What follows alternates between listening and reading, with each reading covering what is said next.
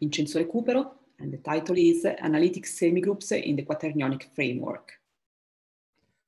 Thank you to Professor Sasso for the presentation and uh, to the organizer for the kind invitation. So this is, uh, you can see the title is Analytic Semigroups in the Quaternionic Framework. Um, uh, just a few words about the, the, the physical motivation, which uh, can be um, found uh, essentially in this uh, uh, first paper that you see here by Birkhoff and von Neumann, where it is stated, it was stated that um, quantum mechanics may be formulated not only in the in on on spaces on the comp on the the scalar the complex numbers, but also on the quaternions. Starting from this uh, remark, uh, a lot of people uh, from physics uh, started elaborating an alternative quantum field theory. This is just a monograph where you can find some bibliography. But uh, let's say that from the mathematical point of view, uh, there are some gaps to, to be filled in, in, in this and other references. And so in the last two decades, uh, a group of mathematicians, which I will uh, um, refer to during my communication, uh, started to do, to, to make a rigorous theory about this. And uh, from the physical point of view, I refer to these two papers by uh, Ghiloni, Moretti, and Perotti, um, where uh, the, the, the, the, the, quantum theory in the quaternionic framework is made rigorous. But now I will talk about uh, analysis and in particular way about semigroups. So uh, let's, uh, let's see what is the framework. Uh, uh, only for people who, might be scared by, I don't know if, if you see uh, 54 here, you see? And this is not the real number of, of slides, so, so don't worry about this, uh, okay? Um, so non-commutative setting is this. First of all, we recall what are the quaternions. It's a skew field. It's a four-dimensional uh, real algebra, which can be described uh, by using a, a standard basis uh, 1ijk. And there is an associative product on it, which uh, must be uh, obeyed to these uh, well-known rules. And let us also recall that the conjugation is defined uh, essentially as in the complex numbers by uh, changing the sign. Or this, this is a, a, mistake. You have to find the minus here, minus here, and minus here, okay? So essentially it's the same as uh, in the complex numbers. Um, what is really important is this very simple remark. If you take uh, uh, this set, which is uh, um, composed by the uh, imaginary units, uh, that is all those numbers on the quaternions such that their square is minus one. This set is called imaginary sphere. It's a three-dimensional sphere as a surface. Then, um, if you also consider all these uh, uh, complex planes Cj, which are the complex planes um, generated by one and j for every j uh, in, in the imaginary sphere. So you have a collection of a complex of complex uh, uh, planes and it is uh, very easy to prove that uh, the, the skew field of the quaternions can, can be seen as the union of all these, uh, um, of all these uh, uh, complex uh, planes. You can imagine something which is rotating. This is not really the situation because the, the, we are in a four-dimensional space, but it can help the intuition to think that you have this uh, kind of uh, complex plane which rotates, and when they rotate, you you get all the all the quaternions. Okay, and you have that two such complex planes in, intersect only in the real line, of course, when j is different from k, from k and from minus k. So this is a really, really uh, easy uh, remark, which is uh, fundamental for the theory. And um, let us also uh, see precisely what is the, the, uh, the functional framework. Uh, we, we don't need to, to we, we don't need to consider uh, um, vector spaces on fields, but vector spaces on uh, a skew field, in this case, the quaternions. So we need to consider a product from the left, left and product from the right. So a left H module is a group where you multiply the vectors on the left by the quaternions, and you have the, the standard uh, um, axioms that you require for a vector space, for a left vector space. But you have H as a scalars. But you have also a multiplication by scalars on the right, and so you get this structure, a right H module with natural laws that you can see here. So multiplication from the left, from the right. And then you have to uh, put them together. So a two-sided uh, H module is a, an abelian group which has a multiplication from the left and the one from the right for by, by the scalars which are quaternions. They have to be the, the previous, the previous properties and the, there must be a compatibility, compatibility from these uh, two multiplication that you can see in this equation. And also when you multiply by a real number, you, you have to require that the, the, the, the real scalar can pass from the left to the right. Okay, this is this is because when you consider a, a, a H, a H vector space, uh, you want that uh, the, the quaternions are themselves uh, H vector space. Then you can uh, also endow uh, two-sided H module um, with a norm, which is very standard, except that we have to, uh, to, to, also to require that the norm of x by q on the right is equals to the modulus of q by uh, the norm of x.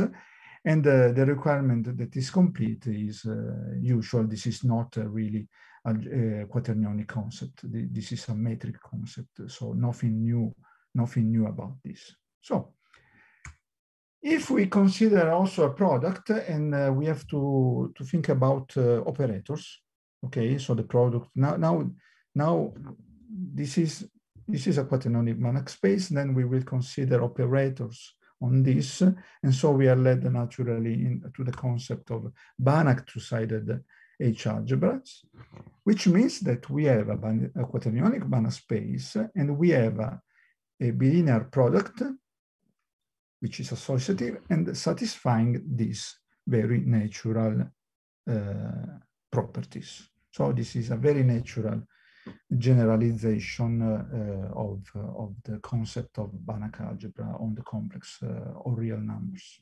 So this is the situation. And then the theory requires that we have to concentrate on right linear or left linear operator. Okay, so we will concentrate on right linear operators. So we have a right H submodule. We, we, of course we will of course consider unbounded operators. Okay, so right linear means which which is additive and we have the the, the, the homogeneity on the right so you see a uh, applied to xq it is equal to a of x and all this uh, uh, vector is multiplied by q on the right and the space of right linear continuous operators is defined in a very natural way the continuity is not a quaternionic concept okay you can also consider a, two-sided um, Banach quaternionic space as a real space in, in, this, in this way that the continuity is not, uh, is just topological uh, properties. Then it is also important to define the multiplication of an operator, of a bounded, unbounded operator, by um, a scalar, quaternionic scalar, and this is the two very natural definition okay? Q uh, times A and A times Q. Okay, so um, uh, this slide uh, uh tells you something about uh, the fact that um, in the quaternions, we have seen that the quaternions can be considered as the union of complex uh, planes, the ones generated by one and uh, J, where J is a unitary, unit imaginary unit. And uh, you can, uh, if you take a Banach quaternionic Banach space X, you can consider it also as a complex space. In, in which way? It is enough to consider the multiplication by quaternions of, the, of this kind, R plus Sj, on the right.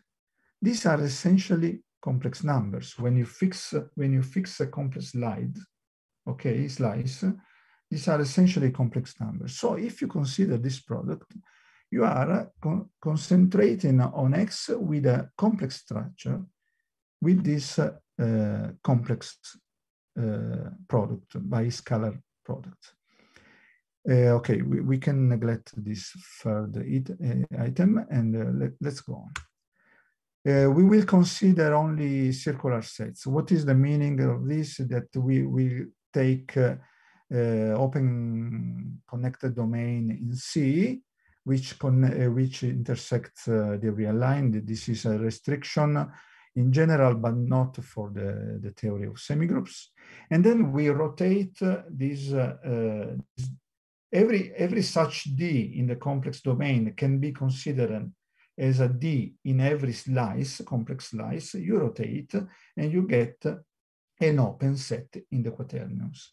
And you can define a sector in this way, in a very natural way. So something like, uh, like this. Um, and then we define what is the notion of slice regular function. Let, us see what is this notion. This means uh, that you take a function on a, on a, on a, dom on a domain of the quaternions, an admissible domain with values in X, and we say that it is right slice regular if Uh, uh, fj, fj is nothing but the restriction of f on every complex slice. Okay, all the quaternions are obtained in this way. You, you take the union, and on every complex slice, you have essentially a function which is of complex variable. U and O x with the structure, complex structure with, which I mentioned before, and this restriction must be holomorphic on every, on every uh, slice. This is the notion of uh, holomorphy or analyticity in, uh, in, in the quaternions. Why it, this was introduced by Gentili and Struppa, why this is natural? Because uh, if a function is slice regular in this way, then it admits locally a power series representation. So in some sense, this is the correct generalization of, of uh, uh, analyticity in the quaternionic framework. So, um, example, the power series with coefficient on the left are right slice regular. So they are analytic from this quaternionic point of view. This is a remark that if you take two uh, slice, two power series, which are slice regular, and you take the pointwise product, the pointwise product is not slice regular. So the pointwise uh, product does not preserve the uh, quatern the analytic, uh, quaternionic analyticity. So in order to have a product which we behaves well from this point of view, we have to uh, replace the pointwise product by the Cauchy product. So you take two power series with coefficient on the left, they are, they are slice regular. You take the Cauchy product, which means that you, you, you, you, you write the power of Q on the right, simply. And this product is slice regular. This is a remark which we we will use. So, uh, and uh, this is not important uh, to understand very well this slide, but what is important is that it is possible to define a product of functions in, in function from h to x which generalize the Cauchy product for power series. So there is a product which um, preserve the slice regularity. Uh, I, I, don't want to go into details because this is technical, but there exists such a product. The slice product is the product which preserves the uh, slice regularity of the two uh, factors, okay? If you consider uh, operator valued function, okay, like this, then you can, uh, of course, take this notion and you have the, the, the, the, the operatorial slice product. I will only use a different terms in order to uh, recall the fact that we are considering uh, functions which are with values in the operators, right linear operators. Okay, so um, let's go on. So we have uh, slice regularity, which is the counterpart of analyticity. We have a, a product which uh, behaves well with respect to the, the, the, the product of uh, slice regular functions. And now we have to see what are the non-commutative spectral notions. So the, the, let's take a bounded, uh, uh, close unbounded operator, densely defined. And let us have, this is uh, uh what we could uh, uh, call the, the classical resolvent. We just elaborate this formula. We can write it in this way. Then uh, we, we take some algebra. And then if you take this product, we uh, let us recall that there is no, no commutativity, we obtain this expression. Uh, okay, let us call this uh, um, polynomial, second degree polynomial in A by delta Q of A. And so this is on the, the, the domain if we want to give a meaning to this also on, on, on the whole X, we can write in this way. So this uh, formal computation led uh, Colombo, Gentili, Sabatini, and Struppa to define the following notion of spherical resolvent set uh, that is all the quaternions such that there is this inverse, inverse operator in this linear continuous and the resolvent uh, spherical resolvent operator. This substitutes the classical resolvent. With this notion, um, these authors uh, uh, succeeding in developing a functional calculus for uh, in the quaternionic framework. But uh, in their theory, they were missing the exponential function, which naturally leads to semigroup. So let's see the, the, the, my contribution to this subject. Uh, it is very natural to define the spherical sectorial operator. We have sector, which is something in four dimension, but is completely analogous to the, the complex case. So we have a sector containing the resolvent. We have the usual estimate on the resolvent. And this is uh, what we proved with uh, Riccardo uh, about uh, the, the, the spherical operator. So if A is a closer unbounded uh, spherical sectorial operator, then you can define this integral formula. Okay, see that you have j minus 1 written here rather than here. Okay, this is, would be 1 over i. This is the spherical resolvent, and this is exactly the, the, the, the, the analogous of what you do in, in the complex case then this is a semigroup generated by A, which means that it is a strongly continuous semigroup. It satisfies the usual uh, semigroup law with T and S positive numbers, real, and the generator is the, the same, the same definition. And uh, you can take uh, gamma j, uh, a curve surrounding the, the spectrum in a certain complex uh, slice that you can decide arbitrarily. So we have an integral formula for the exponential, essentially. But uh, let's see the situation. Uh, uh it is very easy to know that if A is a right linear uh, continuous operator, uh, sorry, unbounded operators, then T is strongly continuous and vice versa. If A is right linear continuous, then T is uniformly continuous and vice versa. But what if uh, aspherical sectorial? What, what, is, what is a possible characterization of the generator by means of the semigroup?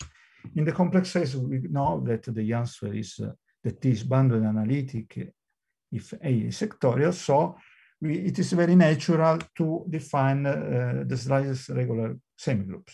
So you take a semigroup. Now the one parameter of the semigroup is uh, quaternions, okay? You, you require that it's analytic from the point of view of the quaternion, so slice regular. T of zero is the identity, and then it is very natural to require this semigroup law, which is the same as in the complex numbers, but P and Q are quaternions when P and Q commute at least. But this is not good because if uh, take, for instance, a linear continuous, you take the, the natural uh, generalization of the exponential, then this uh, formula is false, even if P and Q commute. And it's false even if you consider all this combination of natural um, uh, power series expansion of the exponential. So we have to change the, the, the, the semigroup law. And this is the semigroup law. We define a slice regular semigroup uh, a function on um, a circular domain of the quaternions, which is a sector, with values in the right linear continuous operator, which is right is regular, which is the counterpart of analyticity in the quaternionic framework. T of zero is the identity. Okay, this is nothing, nothing strange, but uh, the uh, semigroup law must be replaced by considering the slice product, which is uh, those products which, which I mentioned before, the one which behaves well with respect uh, to the um, to the slice regularity. But now we have P and Q here. So there are two independent variables and we have to take this product with respect to the first independent variable P. This looks strange, okay, but this is exactly the, the, the, the characterization of sectorial operators. In, in, indeed, we have this theorem if A is a spherical sectorial operator, then, and it is an if if, it generates a bounded slice regular semigroup, which is a right uh, slice regular operatorial function satisfying this strange, if you want, uh, semigroup law, but this is a fortiori. Okay, this is the natural semigroup law in this non-commutative con context. And the, the, the, the, formula for T of Q is exactly this. You see, uh, the imaginary unit must be written here. This is due to the non-commutativity of the framework.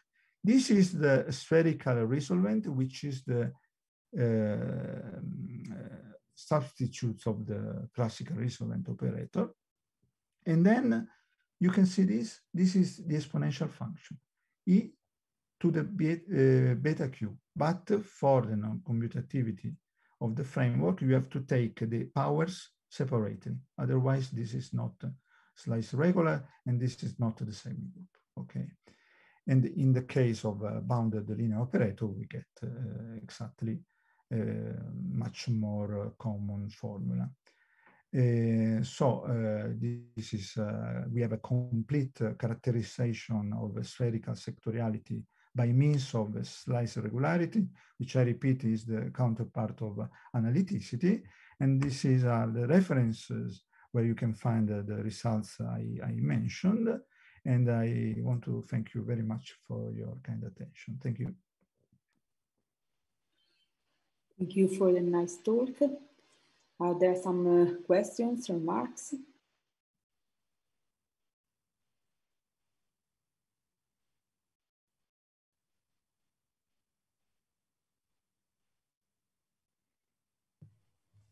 Um, th th thank you for an interesting talk. Uh, could, could you please uh, elaborate more about what is good about uh, quaternionic uh, quantum mechanics? Uh, well, are there some uh, interesting? Uh, okay, for, for, for now, I I don't think that what what what can be said is that the theory can be can be can be done. okay. It is not clear if there are advantages because quantum mechanics works very well on complex numbers. So for the moment, uh, this is a, a, object of research to understand if there are really advantages from this point of view. From my point of view was that uh, for the moment, as an analyst, uh, we, we wanted to see if the theory is possible. This is the first step. Uh, the theory is possible. Um, it's not easy because of the non-commutativity. But for the moment, uh, we, we at least not me, but the, the, the collaborator uh, which I mentioned uh, in the first slide, um, Valter Moretti, and which uh, expert in quantum mechanics, I think uh, for the moment uh, it's not clear if there are real advantages. For the moment, it seems that it's just a, a, a, an alternative formulation, but uh, to, to have a complete answer, further analysis should be done. Okay, this is what I think.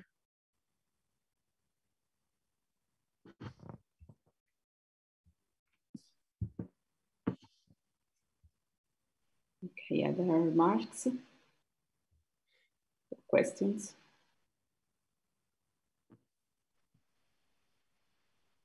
Okay, and we can uh, thank again the speaker. Thank you, thank you to you. And uh, it uh, was the last uh, talk for